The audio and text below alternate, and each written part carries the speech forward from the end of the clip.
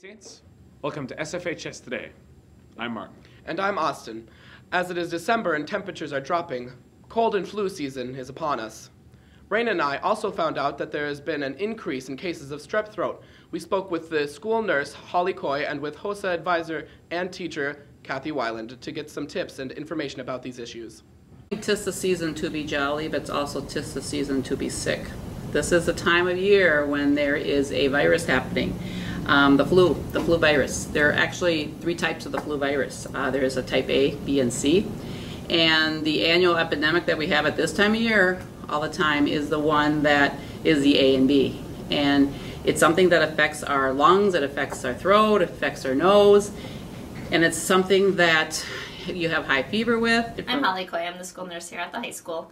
And we have a really busy season coming up with illness. Um, it's the flu season and also lots of colds and lots of other illnesses.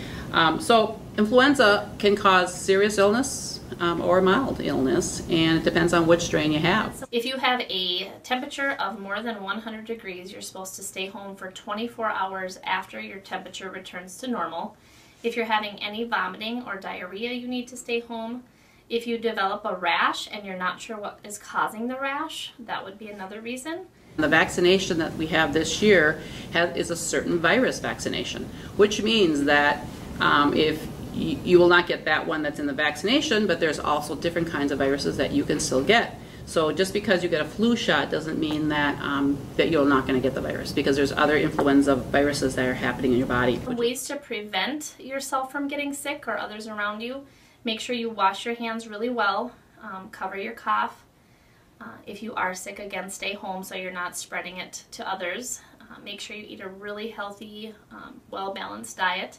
So that the CDC conducts these studies every year, and um, they're saying this year about 40% among the general population are going to, it's going to reduce their risk if they do get the vaccination. Um, if you have any concerns about having strep throat, we request that you stay home until you know for sure if you have strep throat or not.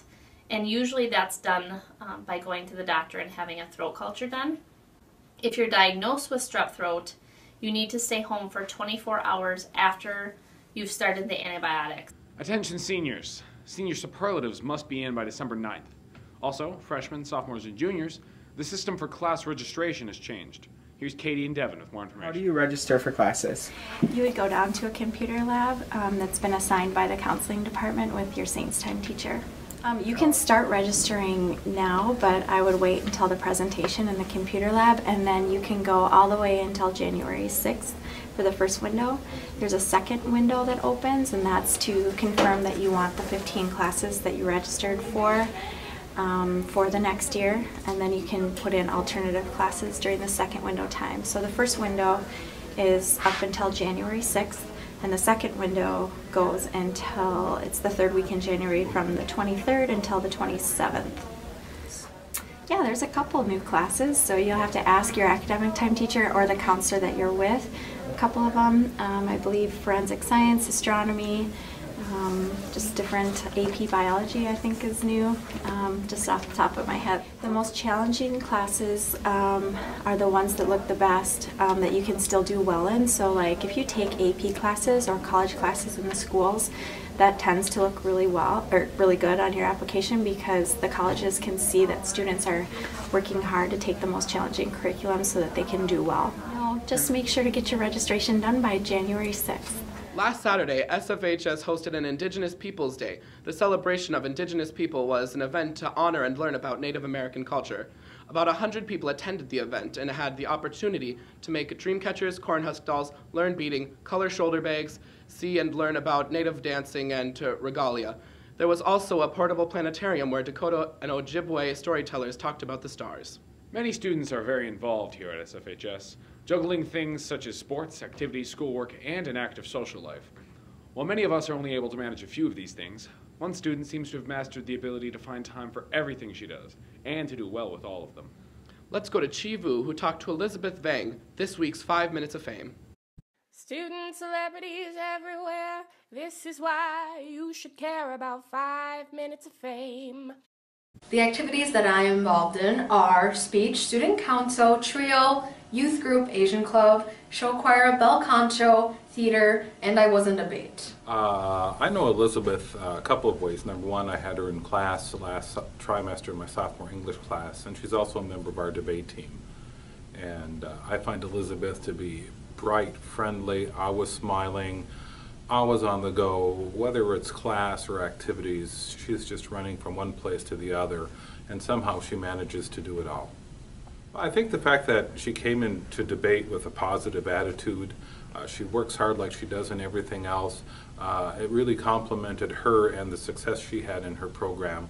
Uh, her record was, was very good for a beginning debater this year, and we're really proud to have had her on our team. Well, I'm usually at school for about I want to say 10 to 11 hours a day. Almost like five days a week, yeah.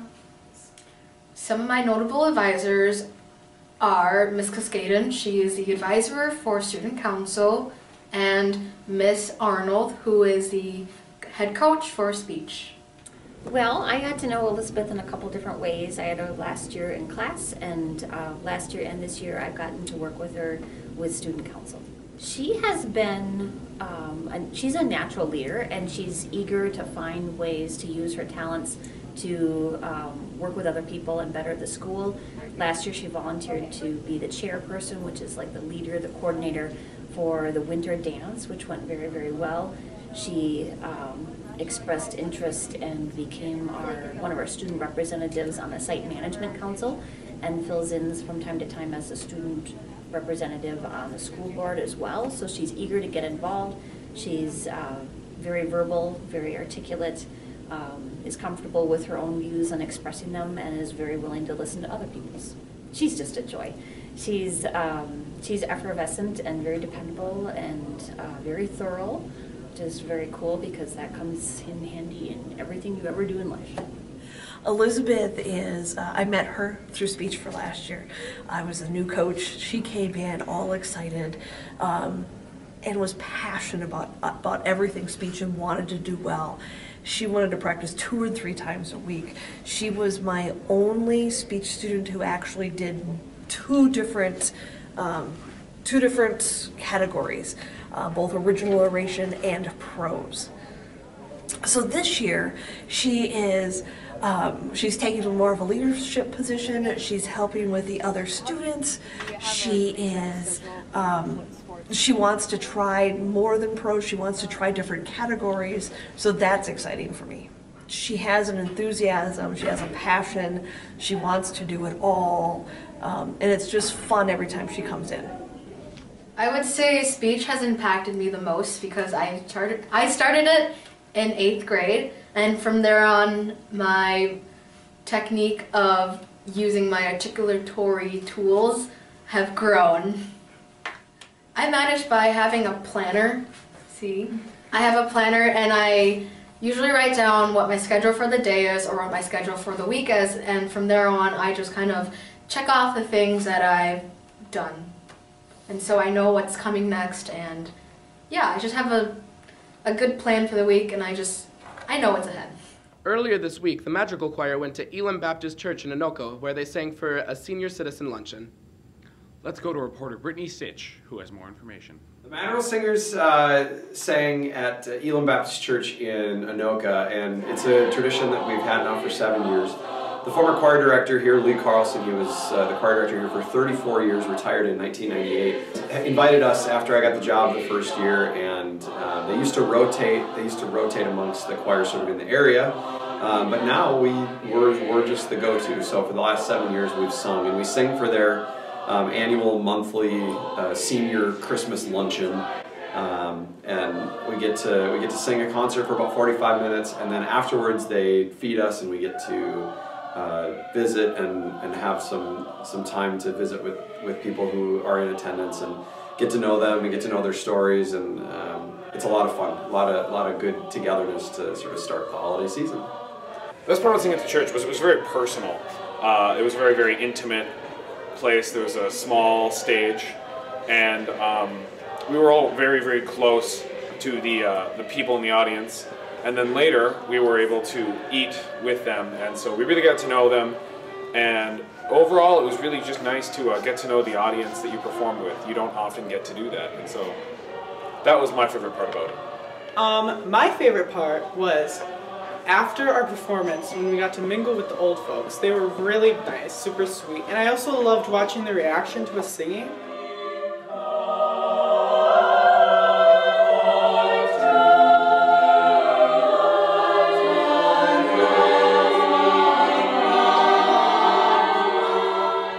Hey Marty, did you know that we have a, a clothing designer here at SFHS? Yes, I did, Austin. Let's go to Alyssa, who put the senior spotlight on clothing designer Collin Jaworski. Has this always been a dream of yours?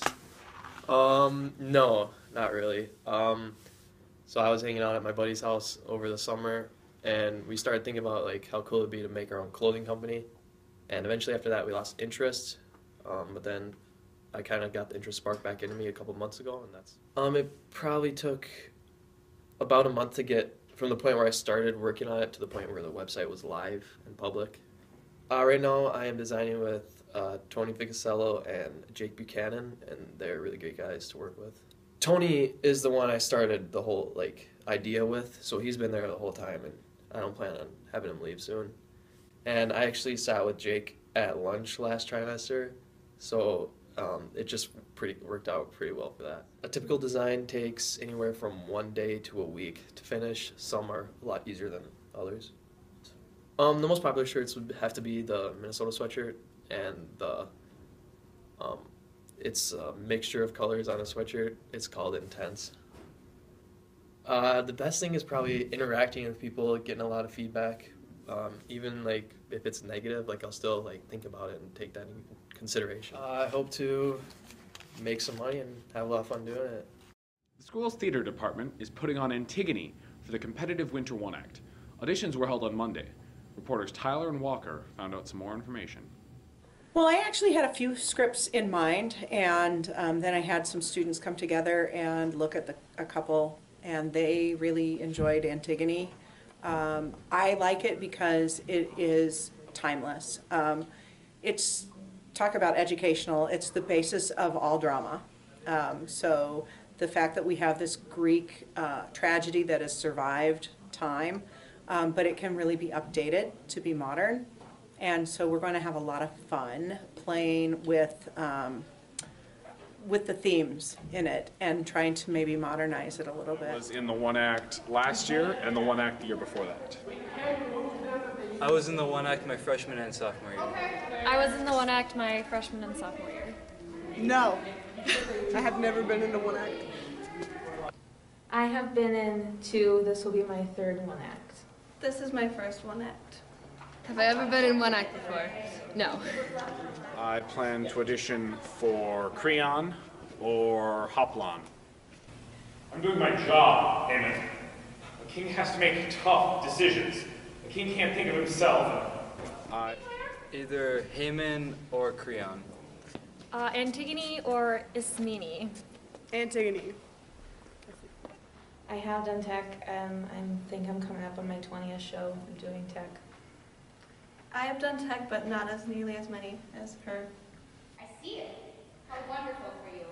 You're so much stronger in your righteousness than I am in my fear. What I find with one act competition, it's actually frustrating because I I don't really like the idea of competitive theater. It doesn't make a lot of sense to me because really theater is a supportive art form and the fact that we go and compete against other schools, it's not quite like being able to compete with a sport because everything is different.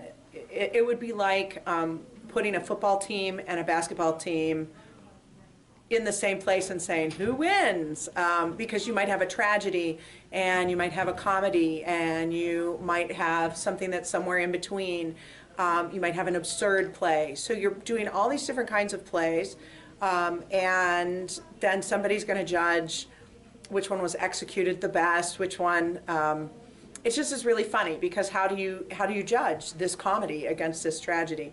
So the thing that i like about one act is not the competition um, because that to me is sort of um, false. I, d- I don't think you can really compare apples and oranges like that. Um, for tech, they're really busy for our competitions because we only have about 10 minutes to set up. And we only, and we're timed because if we go over a certain time limit for our show, we are disqualified. So it's pretty busy for us. Um, and really, we get to go see a huge variety of plays. And so when we're not performing, we're watching other people. And that is where I think my students can learn, they can become informed, and um, see all kinds of different theater, and also meet a lot of different students who also enjoy doing the same things that they do. That's all this week, Saints. Stay tuned for weather and sports. Hey Saints, I'm Connor, and this is weather. Today it's going to be cloudy with a high of 18 and a low of 5. Tomorrow it's going to be snowing with a high of 18 and a low of 10. Sunday it's going to be cloudy with a high of 19 and a low of 12. Have a good weekend, Saints. Hey Saints, welcome to sports. I'm Misty. And I'm Rianne. Last Saturday, wrestling took first place at the Hastings tournament and had a match on Thursday night at home against Chisago Lakes. They recently made the Star Tribune's top team to watch with five wrestlers ranked among the top five in their respective weight classes. Walker put together a highlight reel of Saturday's Girls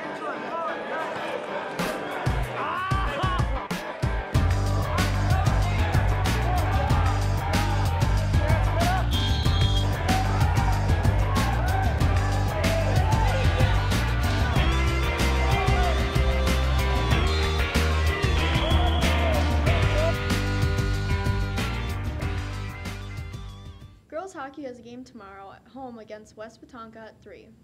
Boys hockey played Tuesday and came out with a win of 13 to 1 against Cambridge. They also played last night against Rogers and scores can be found online. And that brings us to our athlete of the week, Reese Kaehler. Reese is a junior on our hockey team this year. It's his third year in the program. Um, last year he led our team in scoring with 27 goals. He's off to a good start again this year. Um, off the ice, he's a great kid as well, so he's, he's a big part of our program. Uh, I was confident and our, our team needed the W and I just worked my hardest to score a goal. So that was against Shakopee. That was our home opener and season opener. Uh, we ended up winning four to three in overtime. Um, it was about halfway through overtime, and they had a two-on-one uh, going down the right side of the rink, and uh, the defender took the the other teammate that Reese had with him, and Reese walked in and shot up her corner for the game winner. Um, I don't know. I kind of just want to go to college, but I'll see what I what I got to work with. Uh, the thing I value most is that I can trust them um, as a group overall from top to bottom. Um, I feel like we have uh, a tight-knit group of guys and our leadership that we have, uh, we have a lot of veteran players and uh, they're very open and honest and we can have uh, some quality dialogue and uh, setting up the, the team atmosphere and moving forward it'll help us greatly. We're hoping for a quarterfinal win in sections and to get at least 16 wins this year. Um, we actually, we play Thursday night against Rogers and then our, our game on Saturday is against Mounds View. Uh, and then next Tuesday we'll travel up to Duluth Marshall um, for an away game up in Duluth. Girls basketball will have a game t- tonight against St. Paul Central at 7:15. Boys basketball had their first game on Tuesday and walked away with the win of 60 to 51. They have another game on Saturday against St. Louis Park at Anoka Ramsey Community College at 4. Gymnastics had their first meet on Wednesday against Rogers at, at home at 6:30 and they won 134 to 133. Winter Dance has a competition on Saturday at Lakeville North and next Tuesday they compete at North Branch. That's all we have for you this week, Saints.